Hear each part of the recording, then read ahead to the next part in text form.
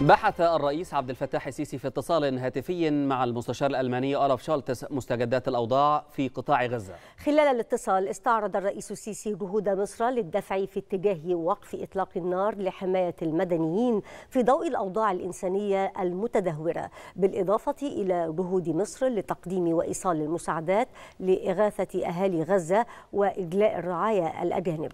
من جانبه أعرب المستشار الألماني عن التقدير البالغ للدور المصري. وأكد موقف ألمانيا بضرورة حماية المدنيين وإنفاذ المساعدات.